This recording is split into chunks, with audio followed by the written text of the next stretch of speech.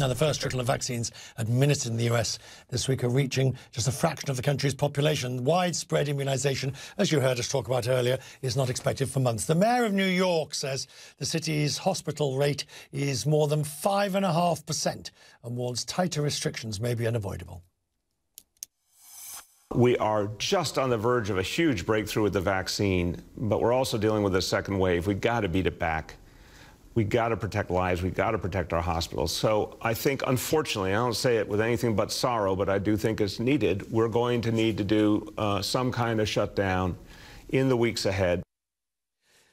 Some kind of shutdown in the weeks ahead. New Jersey's governor is also saying his state is considering another shutdown. Jim Allen is chairman of Hard Rock International, joins me from Atlantic City in New Jersey. I know you don't want to hear this. You don't want to hear it, shutdowns and the like.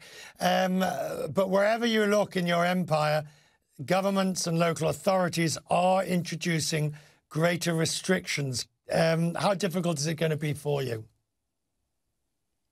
First of all, Richard, thanks for having me. You know, it's challenging. We've already seen this in Europe.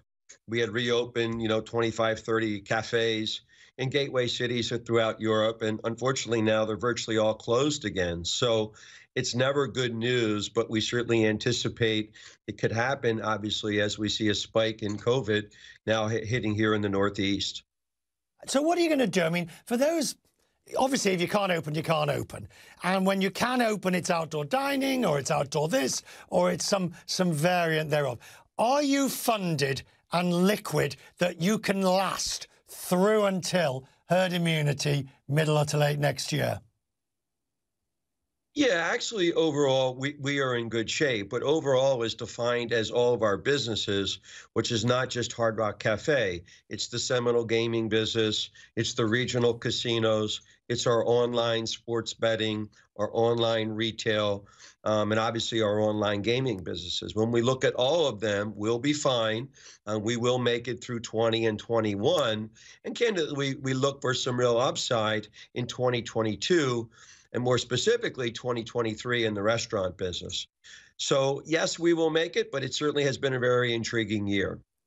This is why, I mean, things like Hard Rock Digital, which you've announced, basically a gaming venture, an online betting and uh, a venture. It's why these new ventures are crucial in a sense as revenue raisers in the meantime. Yeah, you know, frankly, we started, you know, Hard Rock Interactive, you know, three and a half, four years ago.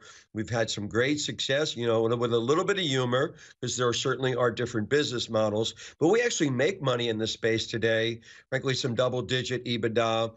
Um, many of these companies are losing hundreds and hundreds of millions of dollars. We took a little different approach.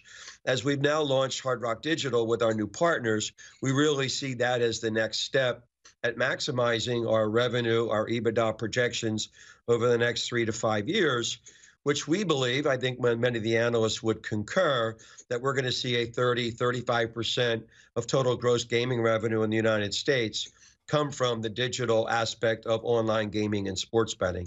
So it is the way of the future, and we're real excited about the Hard Rock Digital release. How do you keep excited by restaurants, cafes, and hotels and all the other things, which is old school and really never gets the same sort of potential revenue slash EBITDA that you ever get with gaming because the costs are so much greater of building bricks and mortar? You know, one of the great things about the Hard Rock brand, you know, literally, you know, 2 billion plus media impressions last year. So we know the brand is relevant. And, you know, the cafes coming up on their 50 year anniversary next June still are part of that. So we know it's very important to keep that original foundation block in place. We're certainly not in an expansion mode with the cafes even prior to COVID um, here domestically in the United States. But on a global basis, frankly, we were doing between 15 and 25 cafes a year through our licensing and franchise divisions. And, you know, they really were doing well prior to COVID. So the future is clearly, you know, big box integrated re- um, online destination resorts. Uh, but certainly the cafes, you know, still do pretty amazingly well um, when we when we look Please. at its 50 year history. Do you collect all the Hard Rock mugs? I mean, if one more person I, I come across who actually collects all, so I figured that the chair must collect them all. No, but actually, Richard, I do not. Um, but what's amazing with Hard Rock is I always joke, you know, try to go to an airport and not see someone in a Hard Rock shirt or hat, whatever it may be. But the reality is that our real collectors are the pin collectors. And, and there is so many amazing variations, literally thousand variations of Hard Rock pins on a global basis.